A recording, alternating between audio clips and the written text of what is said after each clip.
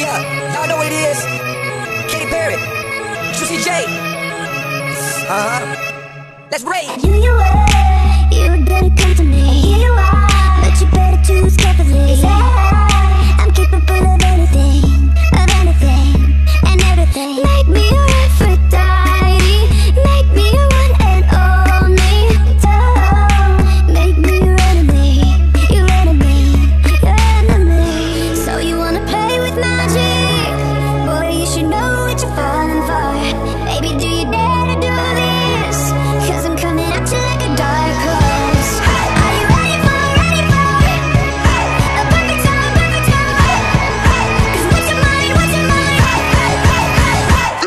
that.